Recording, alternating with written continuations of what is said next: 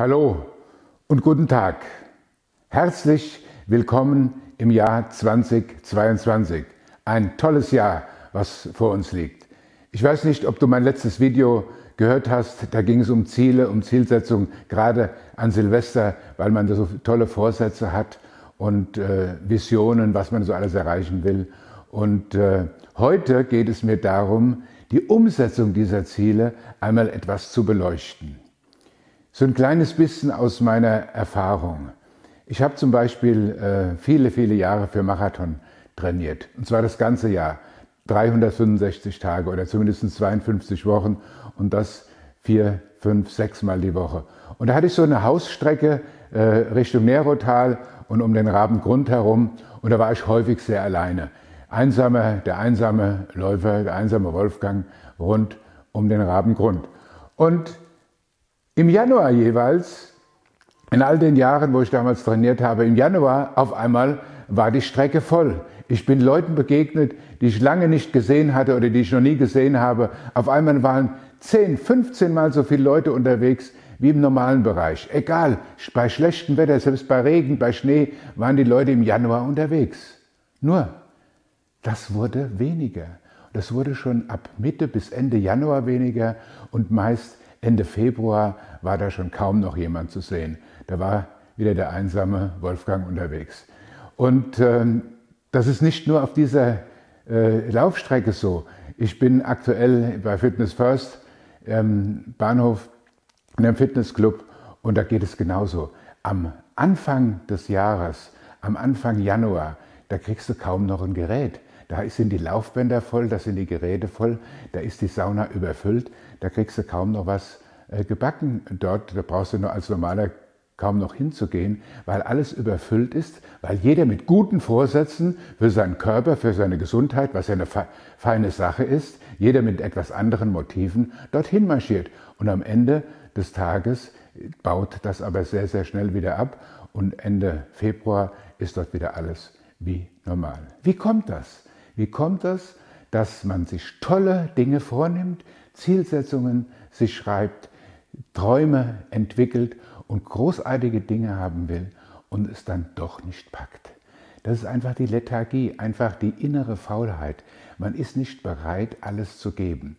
Es geht endlich mit, um ein einziges Wort, Willenskraft. Du musst in der Lage sein, deine Willenskraft zu entwickeln, einen starken Willen zu entwickeln äh, entstehen zu lassen. Ein brennendes Verlangen in dir, um genau das zu erreichen. Das hat natürlich etwas zu tun, wie motiviert du bist für deine Ziele, für deine Werte, die du erreichen willst. Natürlich hat die, die, die, Größenordnung der Eigenmotivation auch etwas mit der Größenordnung des Willens zu tun. Aber es gibt Leute, da ist es mit in die Wiege gelegt, diese Willenskraft, und andere, müssen sie erst entwickeln. Aber entwickeln und verbessern in diesem Bereich kann sich jeder. Der Weg vom Nullpunkt oder der Weg vom Ziel zu einer wunderbaren Realität, zu Glück und Erfolg führt immer nur über die Willenskraft. Und hinter dieser Willenskraft steht etwas, das nennen wir Selbstdisziplin. Das heißt, ich muss diszipliniert vorgehen. Ich muss möglicherweise mal hart mit mir selbst sein. Ich muss diszipliniert in meinem Handeln sein. Ich muss diszipliniert zu mir selbst sein. Und das ist die wahre Kunst, diese Selbstdisziplin, sprich Umsetzungskompetenz zu entwickeln. Nicht nur für andere, sondern ganz alleine für mich alleine. Nicht meinem Chef zu lieben, nicht meiner Frau zu lieben, nicht meinen Kindern zu lieben. Nein, Umsetzungskompetenz, weil ich es will, weil ich mich auf mich verlassen will. Und überall äh, kannst du heute lesen, ob äh, bei Instagram oder bei YouTube oder kriegst du immer wieder den Finger gehoben, ja, Umsetzungskompetenz, Willenskraft. Ich will mich nicht einreihen in die Leute, die davon reden, sondern ich möchte mit meinen Videos Anregungen geben, Tipps geben, Empfehlungen geben, wie man das Ding auch erreichen kann, das da so wichtig ist. Zu sagen, das ist wichtig, das ist die eine Sache, aber deswegen lernt man es noch nicht. Und deswegen will ich dir heute einige kleine Tipps geben, wie es mir geholfen hat, äh, diese Umsetzungskompetenz, diese Willensstärke zu entwickeln, diese Selbstdisziplin. Begonnen habe ich mit der Zuverlässigkeit. mit der Pünktlichkeit. Vor vielen Jahren hatte ich mein Schlüsselerlebnis und da war ich sehr, sehr unpünktlich, das hat mir sehr geschadet. Und da habe ich mir selbst gesagt, einen kleinen Vertrag mit mir selbst gemacht, Wolfgang, du wirst ab sofort der pünktlichste Typ. Bis dahin war ich recht unpünktlich. Für mich hat auf einmal die Pünktlichkeit einen hohen Wert. Und das ist her, da war ich Anfang 20, das sind jetzt 50 Jahre her. Und seitdem habe ich dieses Pünktlichkeitsproblem entwickelt. Und es war irgendwann kein Problem mehr. Heute macht es mir Spaß, pünktlich zu sein. Es ist so einfach, pünktlich zu sein.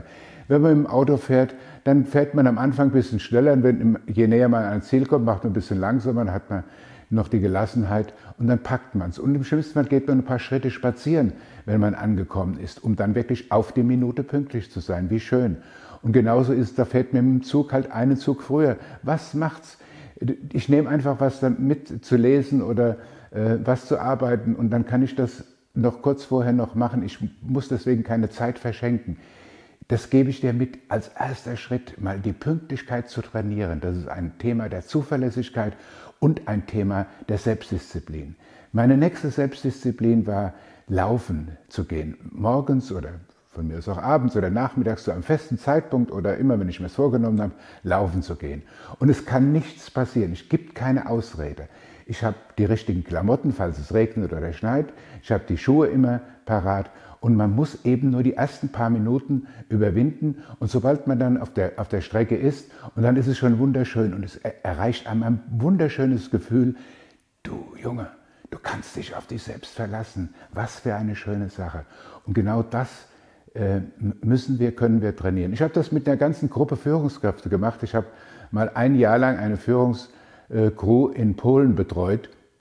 Und das Erste, was wir gemacht haben, äh, ich sagte denen schon bei der Einladung, bringt Laufschuh und einen Trainingsanzug mit. Und das Erste, was wir gemacht haben, an äh, die, jeweiligen drei Seminar, Seminartagen, die wir jeden Monat einmal hatten, wir sind gemeinsam laufen gegangen. Auf die Minute, morgens 8 Uhr aufgestanden, noch vor dem Frühstück gelaufen und haben dann gesagt, okay, 8.15 Uhr treffen wir uns unten vom Hotel und dann sind wir gelaufen konsequent jeden Morgen äh, diese, dieses Laufpensum. Und dann haben wir dieses Laufpensum in den Alltag umgesetzt. Und dann haben wir uns gegenseitig geschrieben mit, äh, mit WhatsApp-Nachrichten.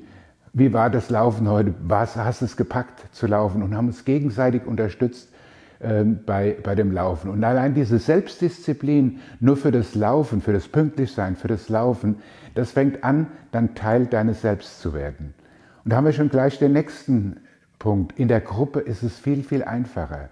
Sich selbst einen Coach zu verschaffen, das könnte deine Frau sein, das können deine Kinder sein, das kann ein Kollege sein. Und mit denen fängst du an, Selbstdisziplin zu praktizieren. Lass dich überprüfen von denen, ob das, was du vorgenommen hast, dir äh, dann auch eingehalten wird. Und das sind wir schon bei der nächsten Frage. Sollte man großartige Ziele und Vorhaben veröffentlichen oder soll man es geheim für sich selbst machen? Da gibt es natürlich die Argumentation, wenn ich das nur für mich mache, ja, dann ist nicht so schlimm, wenn ich scheitere. Ja, aber dann ist auch äh, sehr unwahrscheinlich, dass du dein Ziel erreichst. Ich mache gerne, veröffentliche gerne meine Ziele. Ich sage in meinem Kreis, ich möchte das machen. So war es jetzt im letzten Jahr, im Jahr 2011, habe, war meine Zielsetzung, 25.000 Schritte jeden Tag zu machen.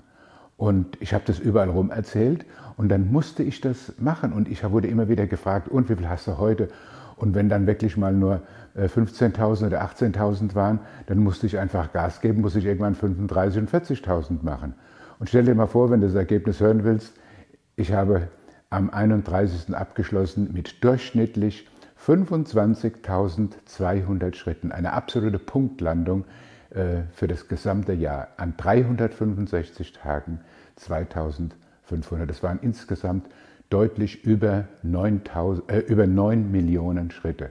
Und das sind alles so Dinge, die kann man erreichen, wenn man Selbstdisziplin hat, wenn man Umsetzungskompetenz äh, praktiziert und wenn man die richtigen Dinge. Die erste Anleitung, die ich dir also mitgebe, Pünktlichkeit, Zuverlässigkeit trainieren, äh, mit anderen kleineren Mitteln Zuverlässigkeit, äh, Selbstdisziplin zu praktizieren, um dann immer bei größeren Aufgaben noch stärker zu werden.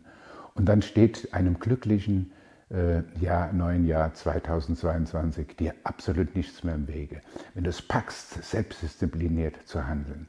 Und genau das wünsche ich dir von ganzem Herzen. Selbstdisziplin zu entwickeln und all deine großartigen Träume zu erreichen. Das wünsche ich dir von ganzem Herzen. Wenn du mehr zu dem Thema hören willst, ganz einfach abonnieren, Glocke drücken, dann bin ich jeden Donnerstag um 17 Uhr bei dir. Danke, mach's gut in diesem Jahr.